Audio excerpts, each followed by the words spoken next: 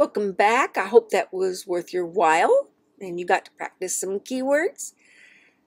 Here's my stack class. It has a magic initializer where I put in a things attribute and I start it with an empty list. Now, I have to make a push method.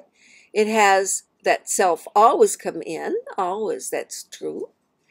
And whatever I want to push onto my stack is coming in as the next argument.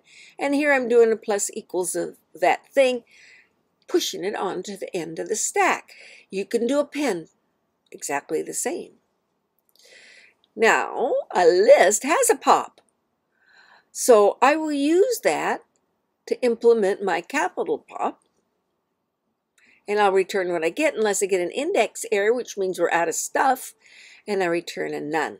So here is my call to stack, making me a box. And I'm going to print box pop, and I get that none. That none that gets returned gets printed. I'm going to push in a nickel and push in a dime. And when I print box pop, I get the dime, the last thing in. And then the nickel. And then back to none. So I made a stack. Some students new to object-oriented programming will put their things here, their things list. And that would mean that all objects of the stack class would share the same stack. And so we don't want that. If you did that, we'll be learning real soon about putting things there, but this isn't the place.